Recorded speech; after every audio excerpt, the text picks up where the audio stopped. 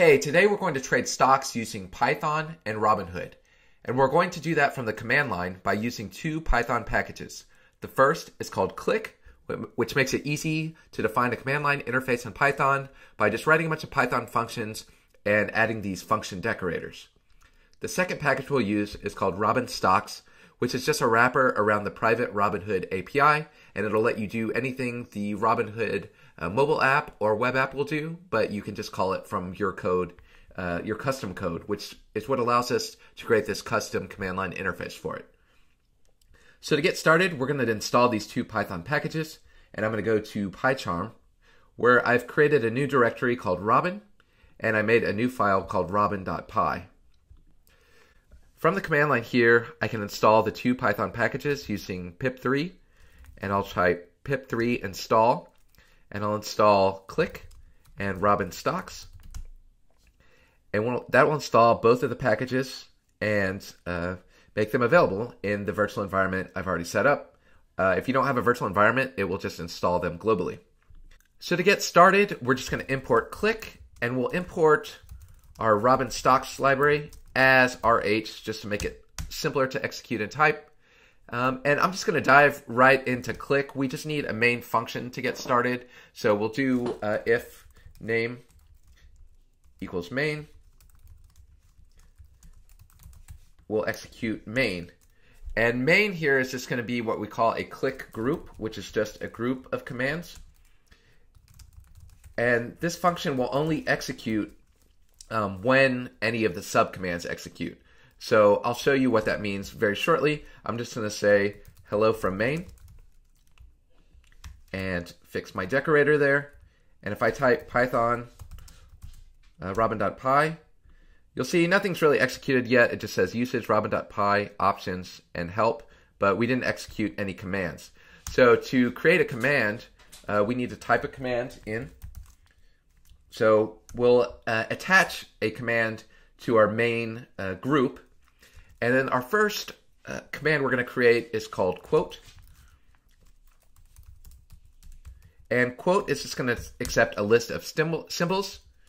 And then for each of those symbols, um, we'll say getting a stock quote for symbol and then we use Python string formatter to just say dot format and uh, print the symbol. And then our command will execute. So we'll run this. Um, if we run this, now you see quote is available as a command just because I did main.command and I have a function called quote. So it's very easy to find a new command. Um, and I'm also going to make a command called watchlist. Um, and then I'll leave it at that. And so I'll type uh, getting quotes for watch list. And if I type robin.py again, you'll see we have two commands available. And I can document those commands easily by using a help option here. And so I'll say gets a stock quote for one or more symbols. And then watch list, I'll say help equals uh, gets quotes for all stocks in your watch list. If I run that, you'll see now my commands are nicely documented. So that's great. But how do I actually pass uh, the symbols I want? So ideally what I want to do is just type Apple, Microsoft, Twitter like that, and then get a list of all the quotes. But you'll see it says no such command, right? So what I would want to do is type quote and then pass in all of those parameters. But it says got unexpected extra arguments. So we haven't defined what the arguments to this function is yet. So what we can do is main.argument, or click.argument, I'm sorry, click.argument, and just specify our arguments. And so we can say argument is called symbols. And if we do that, um, you'll see this won't work yet. Uh, so I'll run this, um, and then we'll type the name of a symbol. Um, so you see I pass in, quote, AAPL. And what it, since I'm looping through it, uh, this went through letter by letter since it's just a string. So I'll just print symbols for now. And it'll do hello from main and apple. So what you see happens here is whenever Uh, this command is a part of this group. It executes main first, and then it executes uh, executes my main command. So I'll show you how that's very useful in a moment. So what we'll do here to accept multiple symbols, there's this parameter called nargs, and you can specify like the number two if it expects two positional arguments, but I'm going to specify negative one so that I can pass any number of arguments. And if I do that, you'll see if I type this again, you'll see hello from main, and you'll also see uh, Apple, Microsoft, and Twitter is actually a tuple here instead of a single string. So now this will work like we expect. So we can do for symbol and symbols, print, and we run it again, and it'll say getting a stock quote for Apple, Microsoft, and Twitter. That's perfect. So now let's make it actually do something. So uh, let's use our Robin stocks uh, package here that's unused so far. And if I go to the documentation, if you go to robin-stocks.com, you see there's great documentation for this library, and you can list all of the functions in the library. And one of the functions is called get quotes. But there's also tons of other stuff. You can get option positions, you can trade crypto, you can do all kinds of good stuff. Um, so you see this has get quotes, which sets actually a list of input symbols. And so we can just pass those symbols that come in directly to the Robinhood API. And so I'm going to run that. So I'll do uh, Robin. So I'll do rh dot get quotes and just pass it our list of symbols. And I'll assign that to quotes and print quotes, and let's just see if that works. Okay, and so you see what we got is a 401 client error, unauthorized for URL.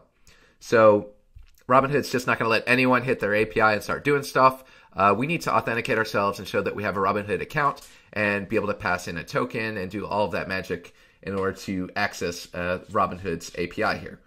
So to do that, in our list of functions here, you'll see there's a section on logging in and out. And simple, you just have a .login function and accepts a username and password. Makes it really easy to authenticate against your account. So we'll use that. I'll do rh.login and a username and some password.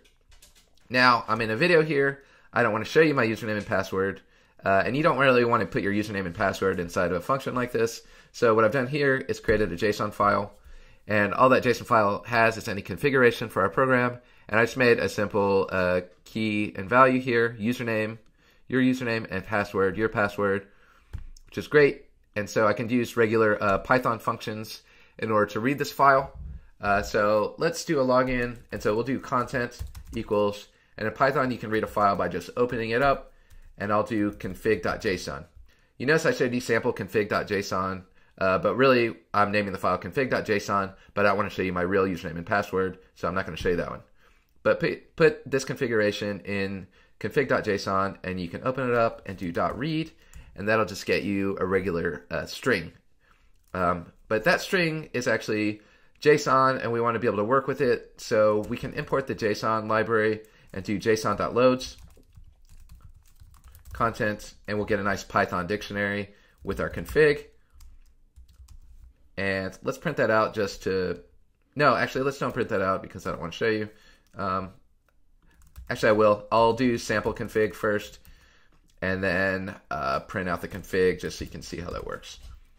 Okay, so if we run that now and do our quotes, you'll see username, your username, password, your password. So we got our dictionary, we got what we need, and now we just need to call the login function. So I'll remove that print there, and I'll also use the regular config.json file, and then we'll do config username and config password. Okay, so we'll log in, and then we should be able to get our quotes. And let's see if that works. So I'll do it again. Bam. So now you see a list of all the quotes, that bracket there, so you know you have a list. Uh, let's flatten this out a little bit. So instead of for symbol and symbol, we'll do for quote and quotes.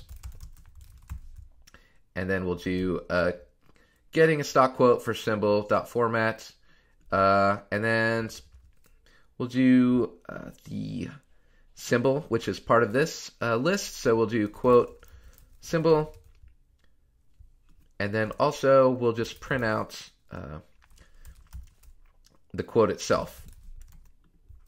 So we'll run that so that's not just one big list, and we'll block it out a little bit. And you see, getting a stock quote for Twitter, ask price 4134. So we can simplify our output here. Um, so let's just uh, let's make it very simple, like a table-like structure. We'll do dot format, the quote symbol, and then the ask price. If you do that, you see we got a nice table, Apple, Microsoft, Twitter, and the current ask price for those stocks. And we can add more and more stuff as we go along. You see there's a lot of interesting attributes here, but we're going to show the ask price just to show that it works. Okay. So let's go ahead and fill in another uh, function here, this watch list, just so that we have two commands to work with, and then we'll group them all together.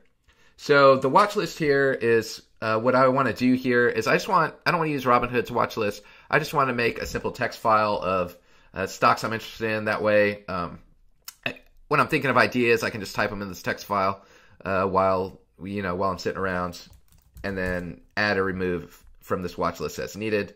So I got my watch list now, and then I'll just type in a bunch of ticker symbols, Cisco, Microsoft, uh, BABA.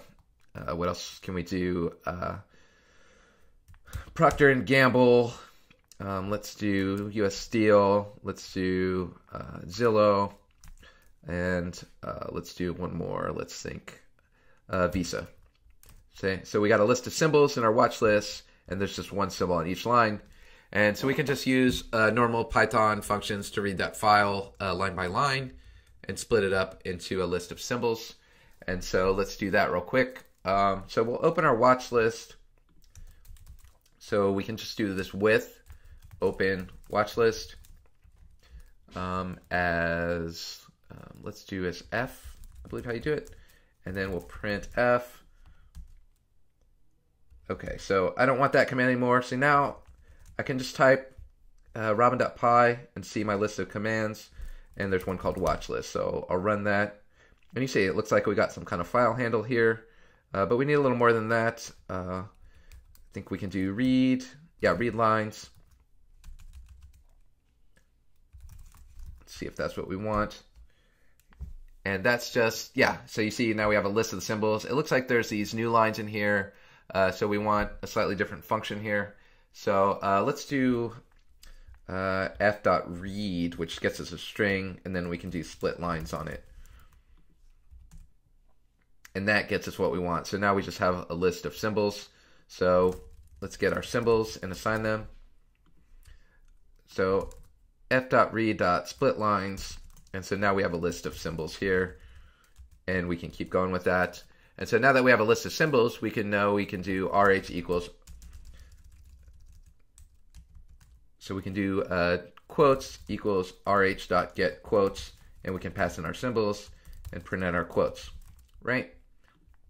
So if I run that, okay, you see the 401 client error says unauthorized, and that's because I didn't log in when we ran this command. You see we logged in up here, and there's some functionality for doing the login, uh, which is kind of uh, repetitively. You know, I'm not going to just put it right there. But as I mentioned earlier, you see it does this hello from main since it's part of the group. So here I can just put, I can just copy that code up here. Just make sure I log in beforehand. And let's just have main uh, do the pre-authentication step. And so now uh, main will execute, I'll be logged in, and then I can just do the logic of calling uh, the command that I want. So now if I do Robin watch list, main will execute, which logs me in. And then you see I get my quotes from my watch list, which is a big old uh, list of quotes. Uh, so we'll do the same thing again where we do uh, for quote in quotes, uh, print the quote, and let's see how that works. So yeah, now you see we have a list that includes every single thing uh, that we had in our watch list, and we can maintain our watch list.